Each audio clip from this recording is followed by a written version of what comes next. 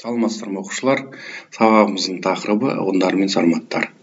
Сабағымызда бес оқу мақсатын қамтимыз.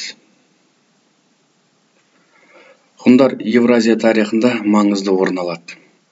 Орталық азиядан шыққан жауынгер көшпелілер ірі өзгерістерге себепші болады. Ғұндар бірнеше ғасыр бойы қытаймен шекаралас өмір сүреді. Қытай деректерінде ғұндардың қоғамдық құрылысы шаруашылығы сипатталады.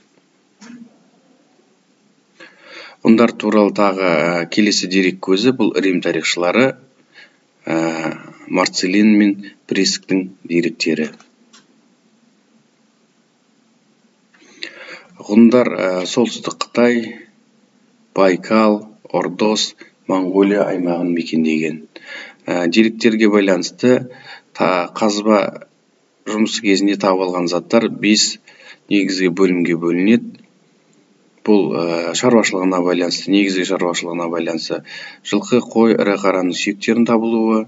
Екінші бұл ауыл шаруашылығына қатысты егіншілікке қатысты тары дәндері темір орақ тас күштердің табылуы. Үшінші бұл аң аулауға байланысты киік қабан құлан тағы басқаның сүйектерінің табылуы.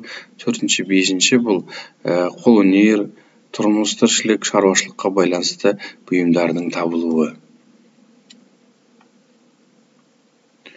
Ғұн мемлекеті бұрын үшінші ғасырда орталық азияда құрылады. Мемлекеттің негізін қалаушы мөде қытай деректері бойынша ғұндардың билеушісін шан ю деп атаған. Мөде бұрын екі жүз алты жүз жетпіс төртінші жылдары билік жүргізген. Мемлекет әскери жүйе бойынша оң сол орталық қанат болып бөлінеді. Әскер басшылары бұл шанюдің ұлдары мен туысқандары болды. Ғұн руларын ақсақалдар басқарады олар жылына бір рет жиналып негізгі мемлекеттік мәселелерді қараған. Ғұндарда бір қарыс жер туралы аңыз бар. Аңыз бойынша көрші дунху елдері ғұндарды басып алмақ болып бірнеше рет елші жібереді. Алғашқы елшіліктер арғымақ пен әйелді сұрайды. Соңғы елшілікте олар екі елдің арасындағы бос жерді сұрайды. Сол кезде мөде жер мемлекетіміздің негізі мен ырысы оны қалай береміз деп қатты ашуланып содан соң дунхуларға қарсы жорық ұйымдастырып оларды талқандап жерлерін иеленеді. Осылайша көптеген көрші ұлыстар мен тайпаларды бағындырып ғұндар мен қытайлардың арасындағы қақтығыс үш ғасырға созылады. Қытай көшпелі тайпалардан қорғану үшін ұлы қытай қорғанын салдыртады. Бұл қорған қазіргі күнге дейін қытай шекарасын қорғап тұр. Ұзындығы мыңдаған шақырымға созылған биіктігі он метр үстінде алты салт атты қатар жүре алады. Біздің заманымыз бұрын екі жүзінші жылы ғұндарды тыныштандыру мақсатымен хан императоры гао цзу көп әскермен оларға қарсы жорыққа шығып бірақ ә, тұтқынға түсіп қалады. Ә, ғұндармен келісімге келіп осы келісім шарт бойынша қытайлықтар ордостағы ғұндардың жерлерінен бас тартады. Қытай императоры шанюге қызын беруге және салық төлеуге міндетті болды. Қытайдың ықпалымен көрші мемлекеттерді тайпаларды айдап салу нәтижесінде ғұн мемлекеті біздің заманымыздан бұрын елу бесінші жылы оңтүстік ғұндар мен солтүстік ғұндарға бөлініп кетеді. Оңтүстік ғұндар хан әулетінің қол астында қалады ал солтүстік ғұндар чи чи шаньюдің басқаруымен батысқа қарай жылжиды. Бірақ чи чи шанью оңтүстік ғұндарды бағындыру үшін қаңлармен одақтасады. Қаңлы басшы чи чи қолбасшыны етіп қызын ұзатады. Таластан жер береді. Алайда оның әскері үйсіндерді толық талқандай алмайды. Ғұндар ә, батысқа көшкеннен кейін ә, еділден өткен ғұндар біздің заманымыз үш жүз жетпіс үш жүз жетпіс бесінші жылдары озготтарды визготтарды талқандайды. Еділден жайықтан бастап днестр өзеніне дейін аумақта күшті ғұн ордасы құрылады. Ғұн мемлекеті аттила патша кезінде кемелденген шағына жетеді. Аттила қазақ ауыз әдебиетінде еділ деген атпен белгілі. Ол төрт жүз төрт жүз елуінші жылдары өмір сүреді. Аттила басқаруымен ғұндар балқан түбегіне шабуыл жасап жетпіске жуық қаланы тізе бүктіреді ол жорықта қамал бұзғыш құрылғылар мен тас атқыш техника қолданылады.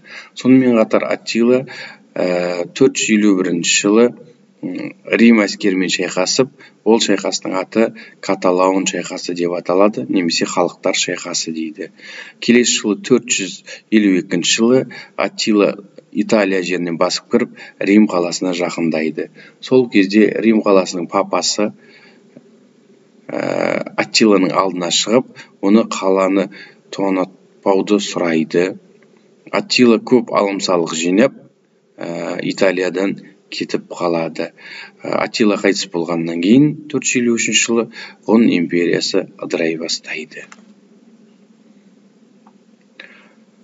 Келесі айтатын біздің жерімізде өмір сүрген тайпалық одақ тайпалар сарматтар сарматтар батыс қазақстан жерін мекендеп кейін солтүстік кавказ бен қара теңіздің солтүстік жағалауына жылжиды. Негізінен олардың шаруашылығы көшпелі жартылай көшпелі мал шаруашылығы төрт түлік мал өсіреді. Ә, сарматтар орал тобыл жем өзендері солтүстік каспий маңына дейін мұғажар тауына дейін дон өзенінің аумағын ә, далалық аумағын да көшіп жүрген. Және ә, ірі өзендердің жағалауларында олар егіншілікпен айналысқан. Қосымша кәсіптің бірі бұл аңшылық болған. Сарматтар ә, қоғамда рулық тайпалық құрылым орын алады. Саяси әскери діни сот билік патшаның қолында болды. Ә, сармат қоғамының ерекшелігі бұл әскери демократия. Ә, жауынгерлер өз жиналыстарында көсемдерін сайлаған. Ә, сарматтардың негізгі ескерткіштері бұл бәйтие мен терең ескерткіші ғибадатханалар табылады. Жақсы зерттелген сынтас ескерткіші үш сарбаз жерленген ә, және бесоба ә, ескерткіші онда абыз әйелдер жерленген. Сармат ескерткіштерінің ең ерекше атап өтетініміз бұл ә, арал төбе атырау облысында орналасқан. Арал төбеде көсем және қасында әйелімен бірге жерленген табылған әшекей бұйымдарға байланысты ә, аралтөбедегі табылған адам алтын адам болып есептеледі. Бұл есік обасынан кейінгі екінші алтын адам. Сарматтар батысқа қарай жылжыған кезде скифтермен көрші орналасып олармен достық қарым қатынаста болады. Ә, скифтер сармат жерлері арқылы сауда жасайды ал сарматтар скиф патшаларын жалданып әскери қызмет еткен. Бірақ бұндай қатынас ұзаққа бармай кейін сарматтар скифтерді басып алып скифия енді сарматия деп аталатын болды. Көрші елмен қарым қатынаста олар ә, рим империясымен ә, әртүрлі қарым қатынас жасайды кейбір кездері олар бейбіт қарым қатынаста болады ә, одақтасып бірге басқа тайпаларға шабуыл жасайды кейбір кездері олар рим жерлеріне жорық ұйымдастырады. Ә, бір деректер бойынша біздің заманның бірінші ғасырында сегіз мың сармат жасағы рим әскеріне ә, жалданып қызмет атқарған. Сонымен қатар сарматтар бізде көрші ә, босфор патшалығы мен понт патшалығымен қарым қатынаста болған.